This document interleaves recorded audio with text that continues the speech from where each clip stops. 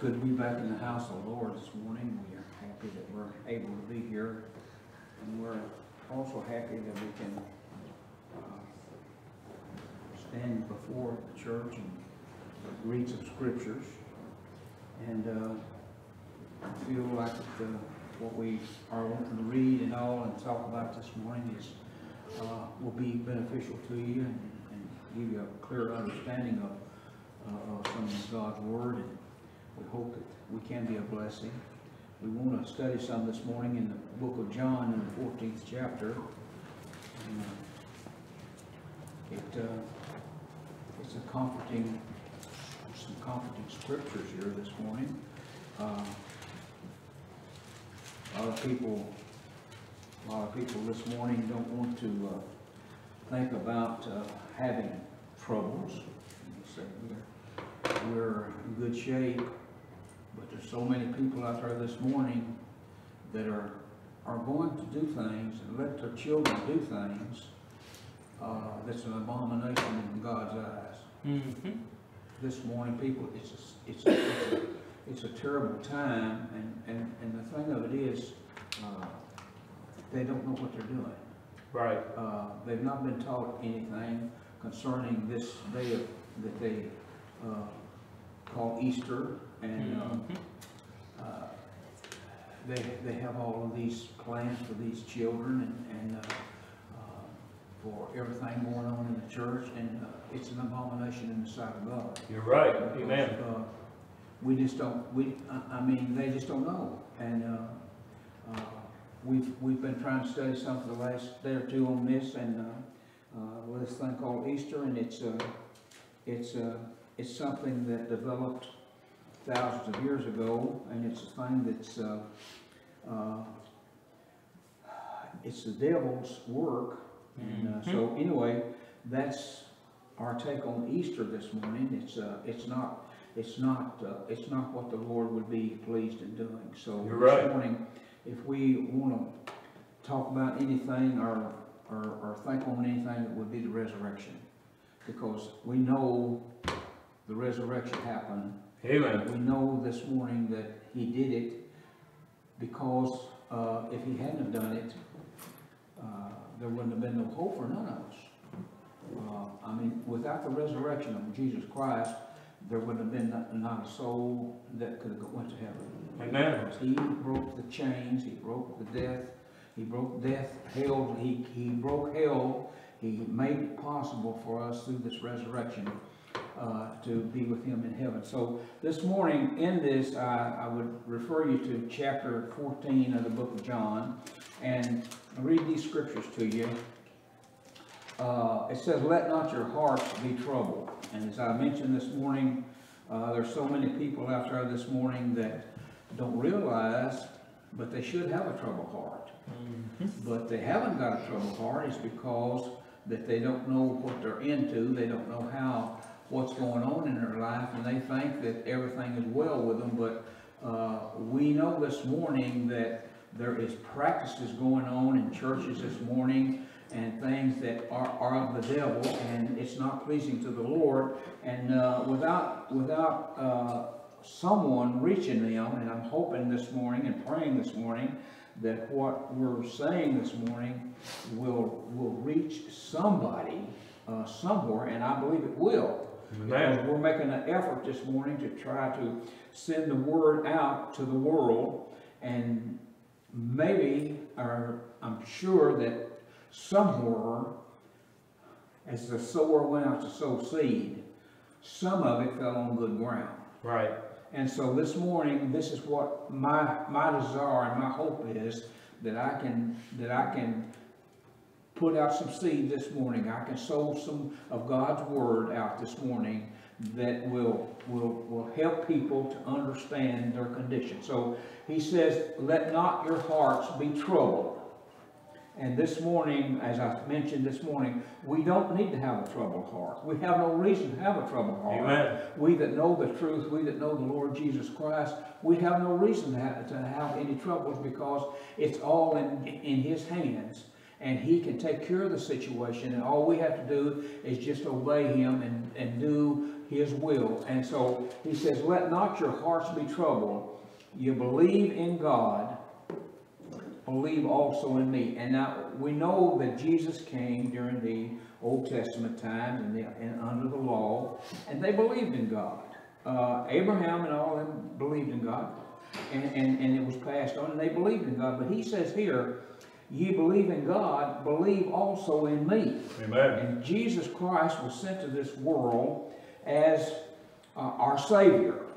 And this morning, if we ever, if we ever want to understand it and accept it and to uh, believe it, it's the, it's time to do it because listen, uh, we're not promised of tomorrow, and if we don't accept Jesus Christ as our Savior, uh, and of course, I know this morning that that you can't uh, you can't go anywhere and say, well, I want to I want to accept Jesus as my Savior, and and you're good because they're teaching it out there. They're leading a world, they're leading a world astray. It don't happen that way, but the, the thing of it is, you have to have a heart within you that's seeking the Lord Jesus Christ, and the Holy Spirit will come into you and, and come to you and, and talk to you about this. But listen, it's got to be something on your part too that you need to you need to have a desire this morning to turn from your wicked ways and go uh, and, and serve the Lord Jesus Christ. And so he says, here he says, if you believe in God, and, and, of course they believed that God,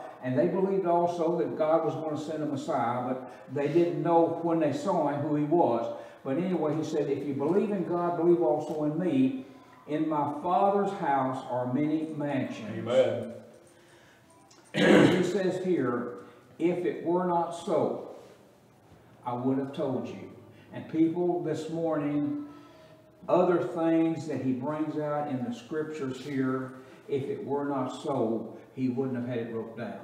And we this morning need to accept the fact that God's word is true. Everything that is wrote down here is for you and for me and for leading us and guiding us to, in the way that we should live and a closer walk with the Lord. That's God, that's the purpose of God's word this morning is to, for it's our, it's our, it's our, our guideline, it's what we have to do in order to stay in the will of God. We, we need to, we need to study this word more than we ever have in our Amen. life because, listen, people, the, the world is getting so, it's getting so, it's getting so uh, wicked. People Amen. are getting killed by the thousands this day and time. And uh, listen, it's it's it's getting close to the time when that uh, the Lord Jesus Christ uh, is is going to be calling us out. Amen. And so we need to be ready. And so this morning he says, "Let not your hearts be troubled." But he says also that there is a place already prepared as a, a mansion for you. And he says here, if I if I if it were not so, I would have told you.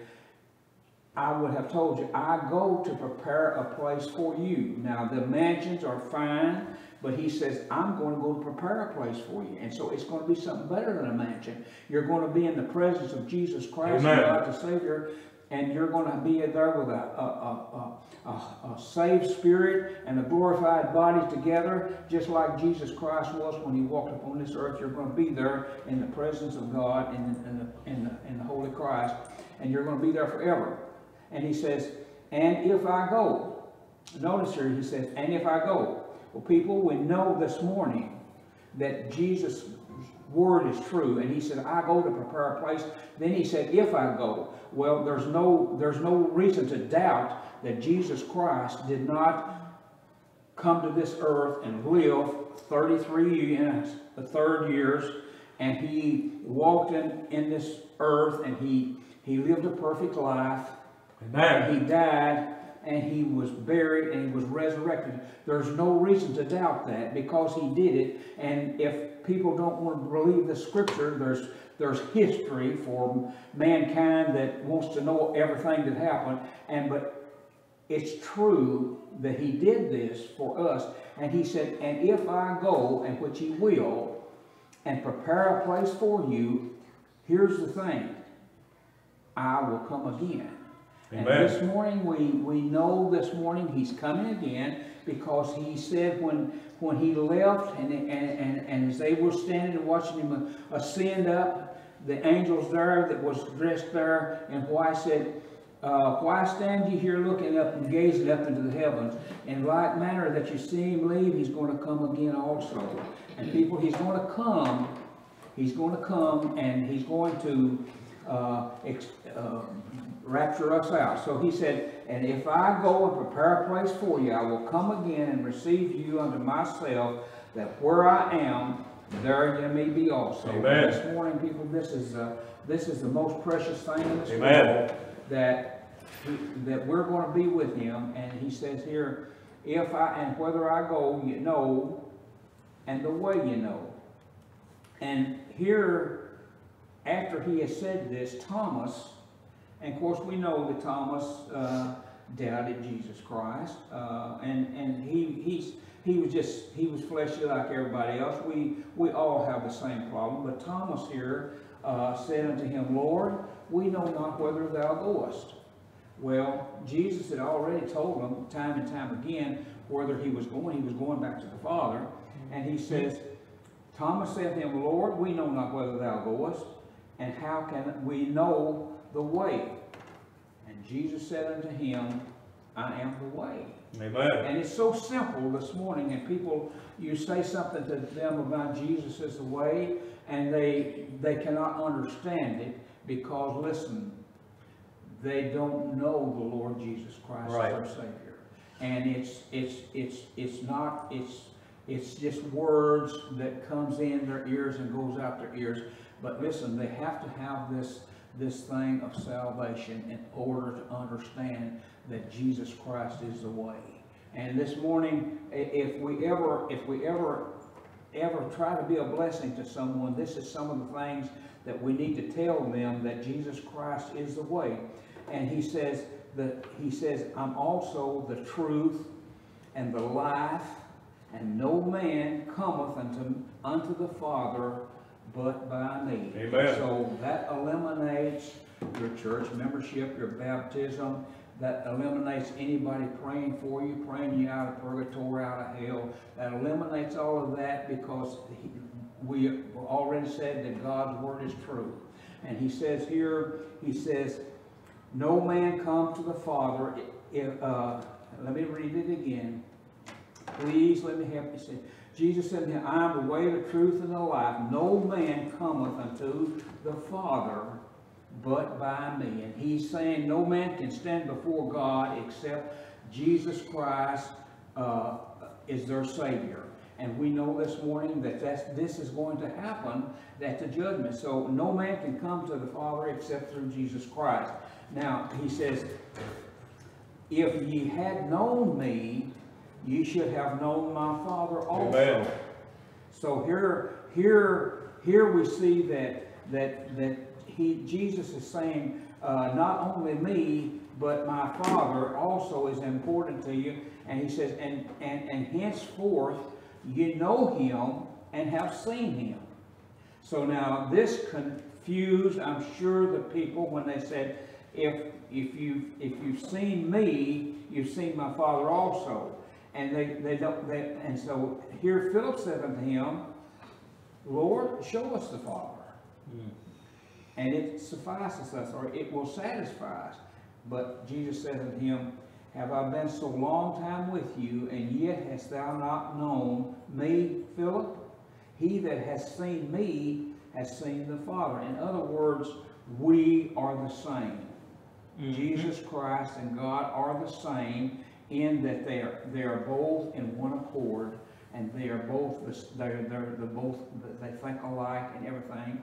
And uh, he said he told Philip he said Philip, if you've seen me, you've seen my Father also. And so here is very it's very uh, it could be very confusing, but listen, it's plain it's plain if you understand how how Jesus Christ was and how that he his father is and and jesus said to him have i been so long time with you and yet thou hast not known me philip He that has seen me has seen my seen the Father, and how sayest thou then, Show us the Father? Why would you say that, Philip?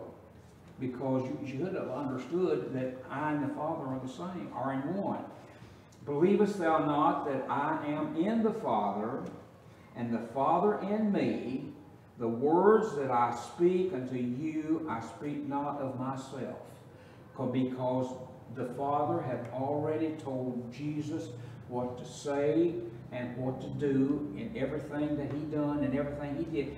And he said in one place there, he said, he, as he was praying there before his crucifixion, he said, Father, I have done, I have done what you have told me to do. I have, I have kept everything that you give me. I have done everything that you've done, from, said for me. And so he said here, uh, that uh, believe me that I am in the Father and the Father in me, or else believe me for the very work's sake. In other words, what I'm doing here on earth, how I am healing, how I am touching thing uh, or healing people and, and, and telling you about the Father, you can believe it for the work's sake. Because he says, I walked here sinless upon the earth. I have not sinned. I have not served sin in any way. Uh, and, and he said, for that work's sake. And listen, this morning, it's a good it's a good thing for you to think about on this. The life that Jesus Christ did and lived, you need to look at that and you need to believe that because listen, with that well, it will strengthen your faith in the Lord Jesus Christ because Amen. he lived a perfect life upon this earth. And we need to look at it and believe it and read his word and how that he did all of these things even when he was tried and tempted of Satan, even when he hung on the cross of Calvary and died and he said, forgive them, uh, uh, uh, Father, and, and all that. Listen, he was perfect and his life was perfect upon this earth. Amen. And we need to, we need to look at that and through that, through that life, we can, our faith can be much, much stronger. And we can trust in the Lord Jesus Christ more because our faith is very weak. Because, listen, we just do not see the things happening now that we did in Jesus' time. And so our faith is weak. Mm-hmm. We, we believe in Jesus Christ. But a lot of the times, it's, it's not from the heart. A lot of the time, we just accept it as, uh, like I said a while ago, out of a history book. But listen, people, it's, it's, the, it's the real deal.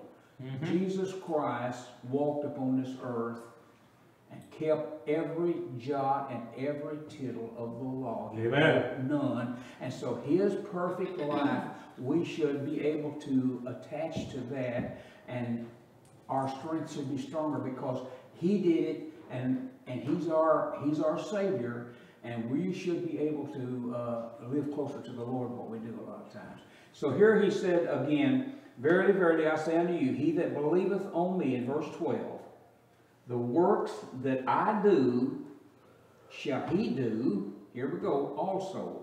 And greater works than these shall he do, because I go to my Father. So he's saying this morning, he's saying this morning when he left this world, he sent the Holy Spirit, and when we can do greater works than what had been done because of our faith in the Lord Jesus Christ and through the Holy Spirit speaking to our souls and our, our hearts this morning, we can be encouraged through the Holy Spirit and that we can have a, a greater desire to serve the Lord Jesus Christ than it did before he left this earth. So Right. notice, Verily I say unto you, he that believeth on me, the works that I do shall he do also, and greater works than these shall he do, because I go unto my Father. And he's going, when he said, when I go to my Father, I'll send you a comforter. And that comforter will come and be with you and live within you, and he will, he will speak to your, your heart, your soul, and he will encourage you, and he will comfort you, and you can know in a greater way when the Holy Spirit comes in how great a work I did, and you can do great works too, and greater works can happen. So here, this is all through faith. Now, and whatsoever ye shall ask in my name, that will I do, that the Father may be glorified in the Son. And this morning, people, when we come to pray, we don't need to murmur and gibber around like, like that. But listen, we need to be sincere with the Lord Jesus Christ, and He's going to ask the Father. He'll present the prayer to the Father, and, and He'll give us those things that we that we need and that we ask for. And a lot of the uh, of our desire should be how that we can serve Him in a greater way than what we do and be a better, uh, more of a, a, a, a, a sh- a show to the world and stand for Jesus Christ and let Amen. people know what we stand for and, and, and, and tell people about Jesus Christ. And so he says here, he says that I will do, that the Father may be glorified in the Son. So here in verse 13, and whatsoever ye shall ask in my name, that will I do, that the Father may be glorified in the Son. And, and, and there, there's nothing this morning, there's nothing this morning, I believe with all my soul, there's nothing this morning that you can do if you cause the Father to be glorified in the Son. That's, that's the preciousest thing in this world to, to God the Father. He, he loved his son and he, he sent him to this world to die for you. And if you can do anything that will glorify the, Jesus Christ in the name of the Father, you're pleasing the Father.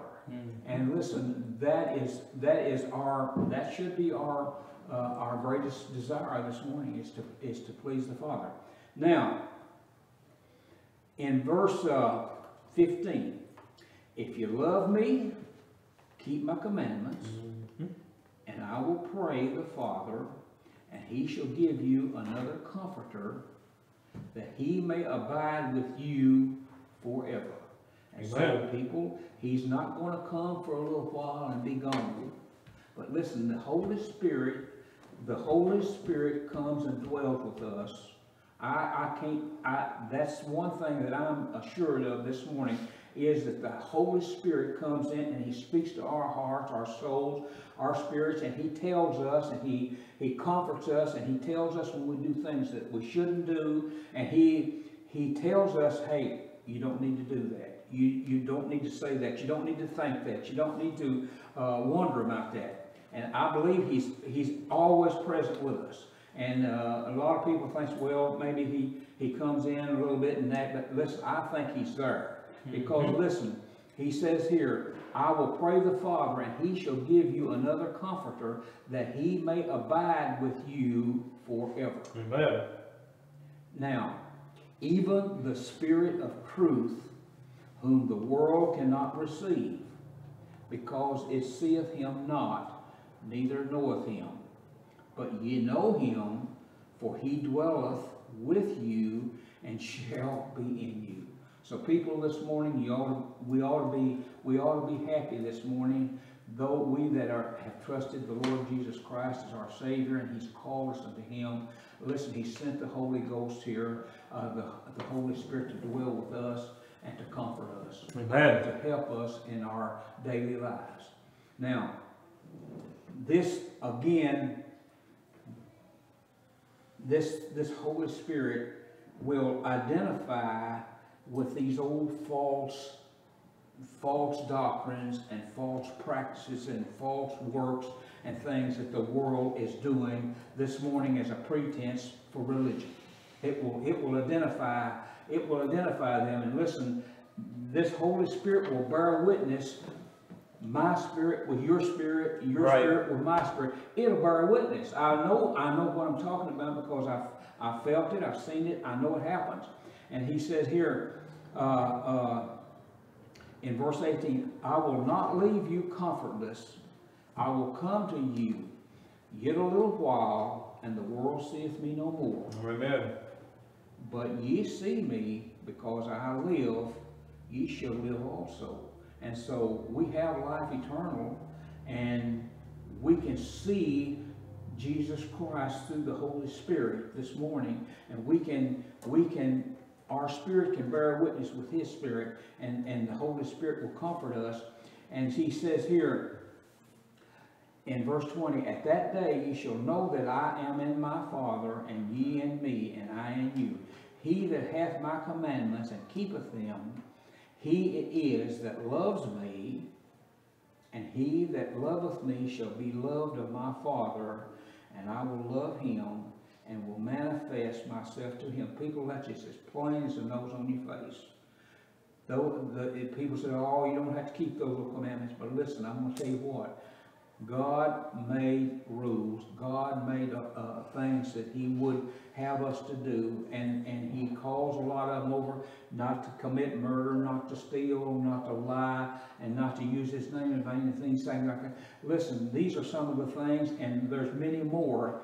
And these things He says here, uh, He that keepeth my commandments and keepeth them, and he is that loves me, and he that loveth me shall be loved of my Father, and I will love him, and will manifest myself unto him. And so, uh, this manifesting himself to us this morning is through the Holy Spirit. The Holy Spirit, the Holy Spirit speaks to our souls, and, and he manifests what he would have God he reveals what God would have us to understand and know. And He is our He is our our receiver from from heaven, and He He relates it to us this morning. Judas saith unto him, not Iscariot, Lord, how is it that Thou wilt manifest Thyself unto us and not unto the world? Jesus answered and said unto him, If a man love me, he will keep my words, and my Father will love him, and we will come unto him and make our abode with him. Amen. So this morning, not only does the Holy Spirit uh, come and dwell, but listen, he brings the presence of the, of the Lord Jesus with him and, and God, and they they communicate with us. They communicate with us, and, and, and I know this morning when we get close to the Lord and we're praying and asking uh, His leadership, listen, there's there's some sometimes there's a specialist, the special that special presence there, people, and I know it's the Holy Spirit coming in and and, and the Father and the Lord bearing witness, and He's bearing witness with them and, and speaking Amen. to our souls. And so uh, it's it's the best time in the world. It is. Now, uh, in verse 24, He that loveth me not keepeth not my sayings, and the word which ye hear is not mine. He that loveth me not keepeth not my sayings, and the word which ye hear is not mine, but the Father which sent me. These things have I spoken unto you, being yet present with you. But the Comforter, there's the Holy Ghost again, which is the Holy Ghost, whom the Father will send in my name, he shall teach you all things, and bring all things to your remembrance, whatsoever I have said unto you. Amen. And so, people, we have the Holy Spirit here, and when that little voice starts, when that little voice starts talking to you, you better listen. And listen, if you don't know it's the Holy Spirit, you need to uh, try to find out. And I would suggest prayer. Uh, pray to the Father and ask Him what's going on. And listen, if that voice, if if that voice tries to tell you something wrong, you better believe it's not of the Holy Spirit. Amen. And, and I'm going to tell you what, Satan is still much alive, and he's on the prowl. And he'll try to convince you that hell is an ice house if you'll listen to it. Now, here we say again in verse 27, Peace I leave with you, my peace I give unto you.